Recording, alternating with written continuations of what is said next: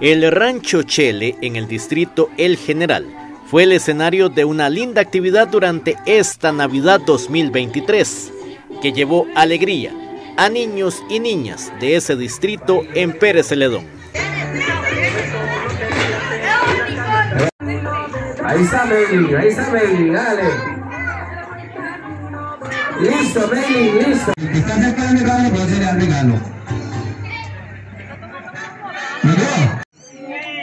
por eso pago la...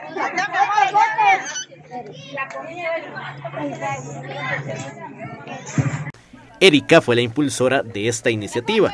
Ella nos relató cómo nació este lindo gesto. Esto inicia hace dos años. esto nace de, yo voy pasando por una enfermedad de cáncer. Eh, estamos en medio de la pandemia.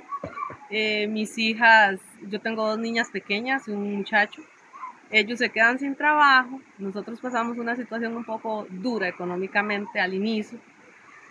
Cuando pasan los meses y las semanas y los días y yo veo que mis hijas no se quedan sin galletas, sin cereal, sin comida, Dios no faltó en mi casa a pesar de tanto, tanta dificultad. Nosotros mm, queríamos hacer algo, mi familia quería hacer algo para devolver un poquito eh, agradecer un poquito a todo lo que nos habían dado en esos días.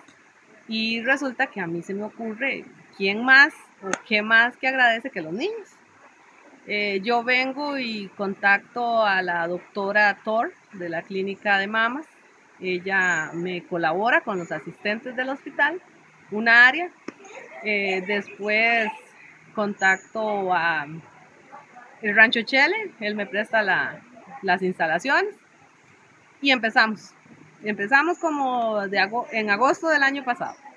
Eh, surge que voy a una venta de alimentos, me regalan un helado, un queque, otros me regalan helados, otros me regalan juguetes y así nace esto.